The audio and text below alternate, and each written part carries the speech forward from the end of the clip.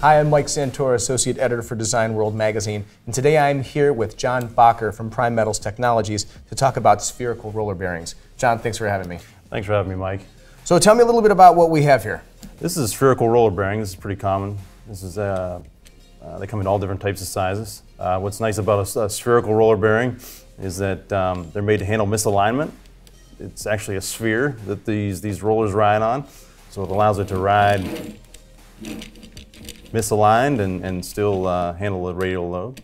And what kind of applications would we see a bearing like this?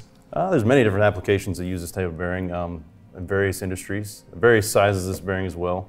And then you can get it a different cage combination, you know, brass cages, some applications, you know, this is a steel cage. So, well, thank you so much. Can you tell everybody where they can find out a little bit more about Primetals Technologies? At primetals.com. Thanks for watching. Thanks.